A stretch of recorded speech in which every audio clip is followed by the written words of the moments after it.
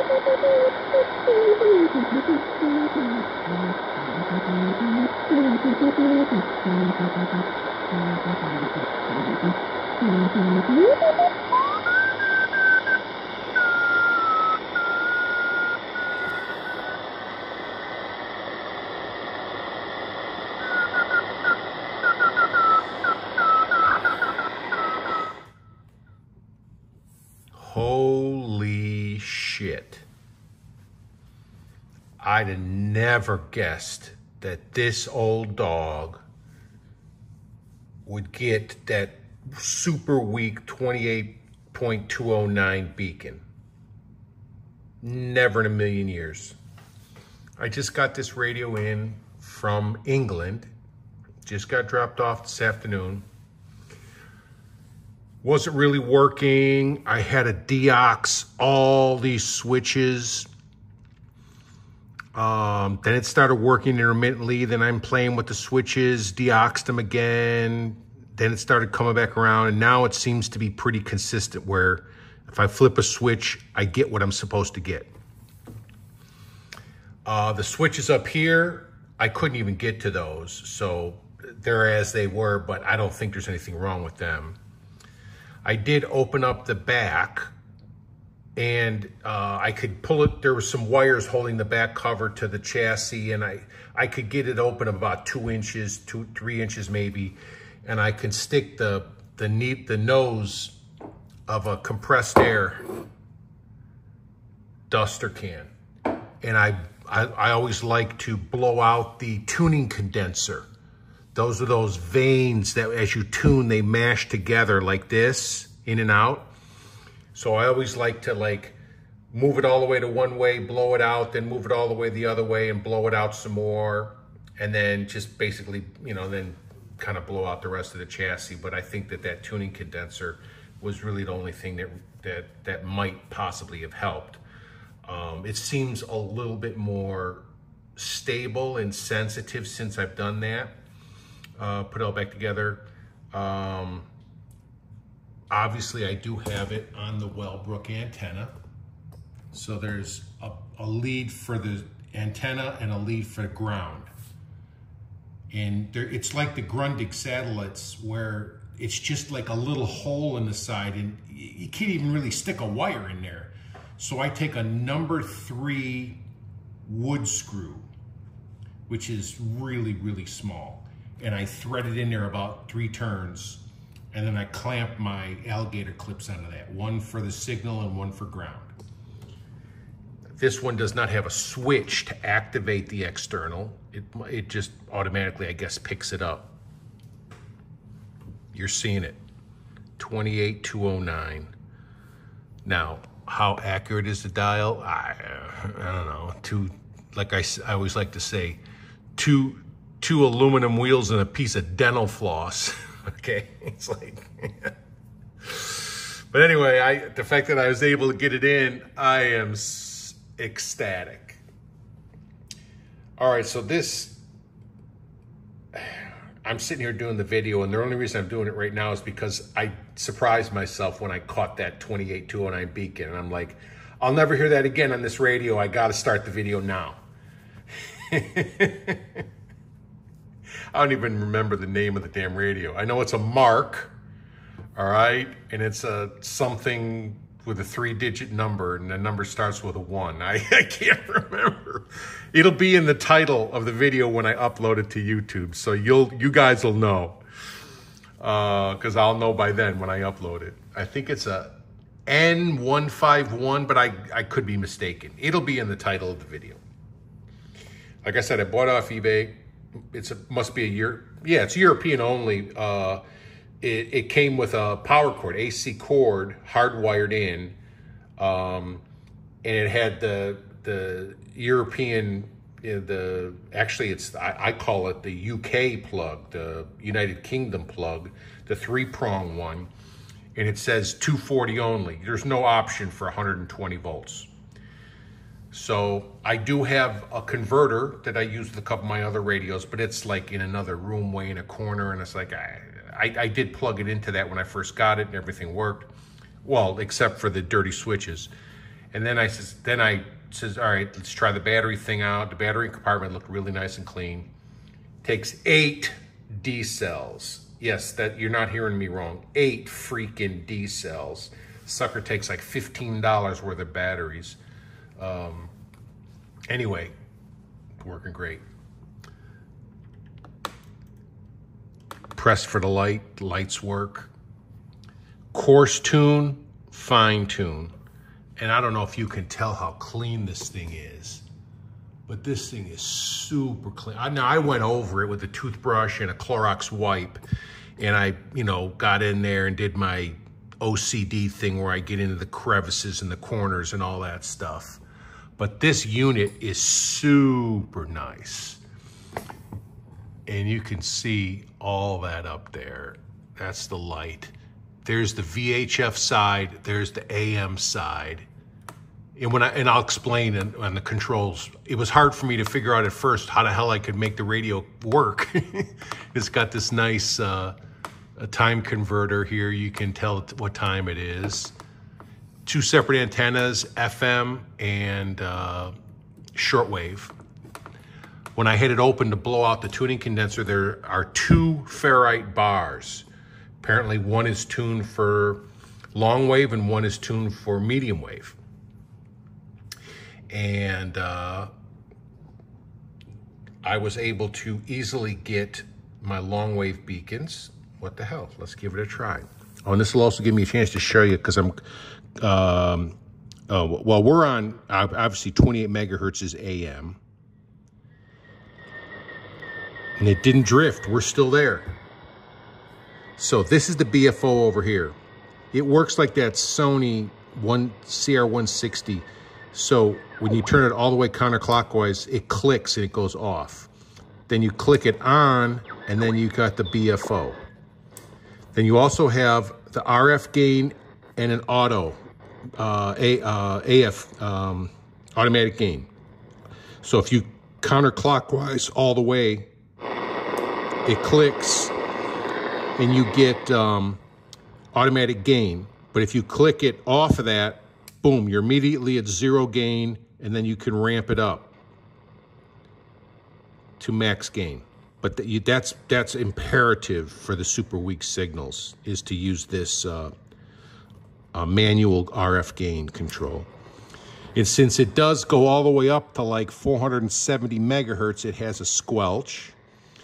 It has a selector between VHF and AM. And that was freaking me out at first because I'd never seen a radio like that before. And then your switch between AC and DC is on the front here. And obviously there's there's a radio and a tape switch, so you can hook this up to a tape recorder, power, volume, tone, and squelch. So, uh, yeah, coarse tune, fine tune. So, all your VHF are on this side, all your AMs are on this side. So you actually, see, we actually have shortwave 4 and FM broadcast pushed at the same time.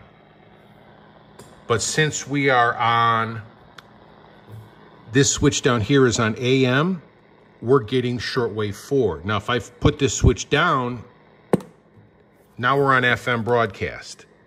GLP-1 medication like semaglutide, nature.com, and sign up as a new preferred customer. So that's a, and then this, it says VHF double conversion offer on. I just experiment with it. I, I don't know when it's supposed to be double conversion and when it, I mean, obviously in VHF, not in AM. But uh, yeah, I'll I'll play with that a little bit. Um, sometimes it didn't seem to make a difference. Sometimes it would just cut out the signal altogether and you couldn't get it. Um, but anyway, uh, but no, every, everything's working now. Um, let's, uh, oh, let's go to, all right, let's try long wave. All right.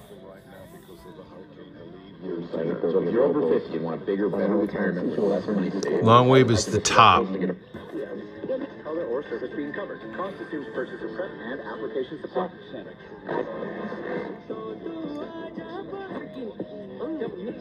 Oh, that sounds like. Oh, you know, that's why it sounds weird. It's because I didn't flip the switch from VHF to AM. See that?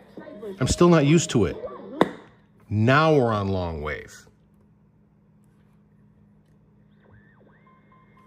And right to that beacon.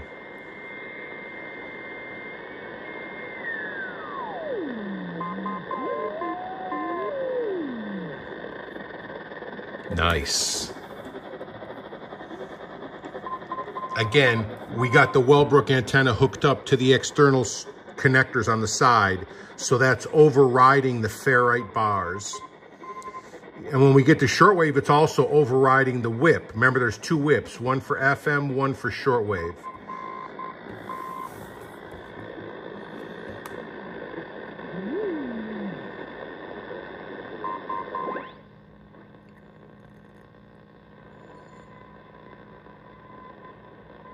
Oh, there's 350? That's either 350 or 341. I keep forgetting. There might be 341. 257.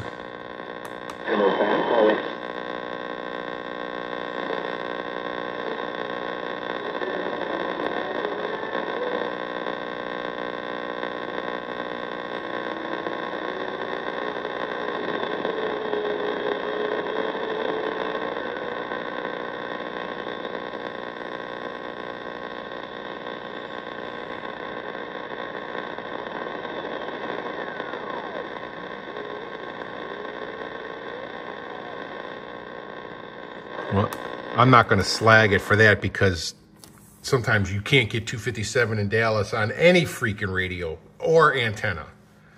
So, uh, medium wave. I should back out a little so you guys can see what buttons I'm pushing.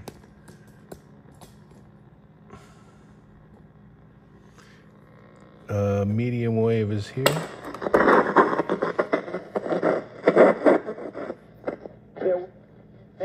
This all comes following the from the Supreme Court on presidential immunity that found Trump ineligible for criminal prosecution.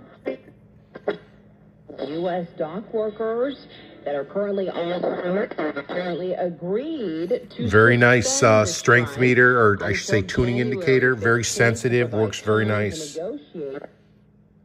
to nice. And this is the story we've been following. This is day three of those dock workers In the short waves.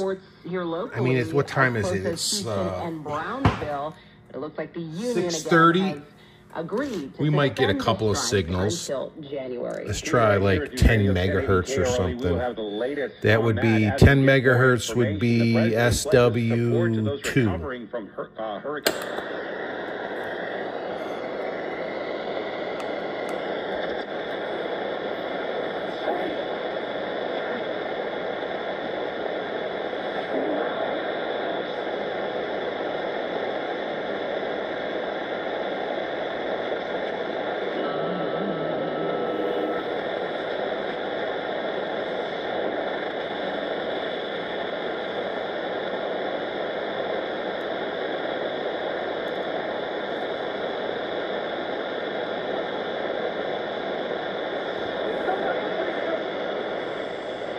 Right, so that's Reverend Freak Show.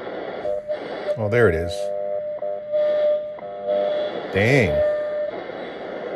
Money.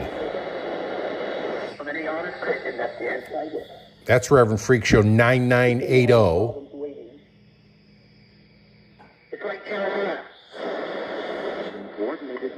There's WWV. Not bad. The lineman's not bad. Not terrible. Let's try 15.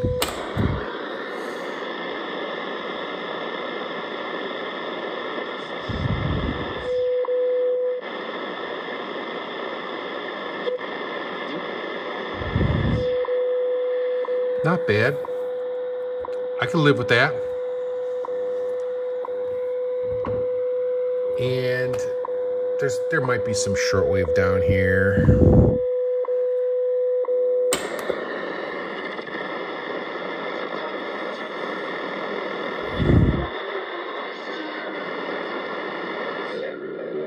And make a good work for us. Tú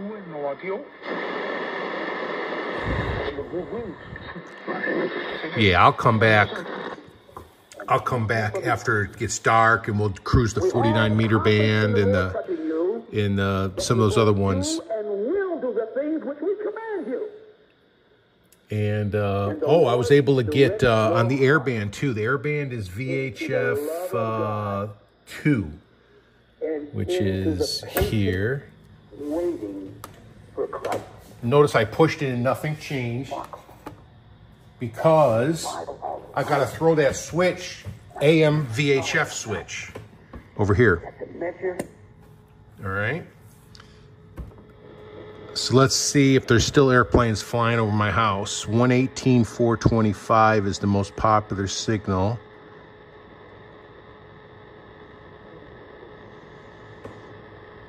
And I can't remember if I'm supposed to be in double conversion or not. Yeah, one seven thousand Whoa. thirty-five. That's it. That dude must be right over my house. Let's say one seven seventeen thousand twenty-one eighty-six. Nice.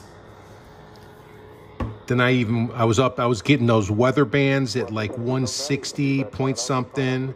And then I went into the top band UHF whatever that is for or whatever in like you know in those those super high numbers and basically all you get is a bunch of different digital shit.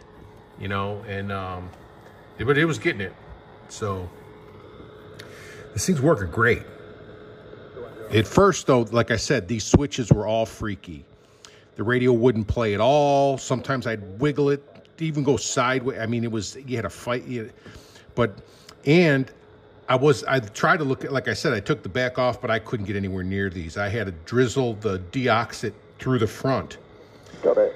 But you just lay it lay it down so gravity's your friend, and then you spray straight down on top of it, and you just work it 20 times, and they're all working. They're working perfect. AM. That switch before was a bitch. It wouldn't. I couldn't get AM. Apparently, the guys were whoever owned this radio was only listening to probably FM broadcast, and that was it. That's the way it is with a lot of these portable radios and then uh, also switching between radio and tape. Uh, but no, it's everything's working now. It's working good. I mean, when you can get that super weak 28209 beacon and you can tickle it in with the manual gain and you can, uh, dude, the shit's working. I'm very, very pleased and surprised with this. And it looks beautiful. I, the, the looks are great and uh, yeah, that shows you that you know they the contacts oxidize and corrode just sitting there without use. And I just by looking at this radio, it's got to have been made in the late '60s, maybe the middle '60s, maybe the early '70s, maybe. And um, but no, it's it's working good. The meter is really sensitive.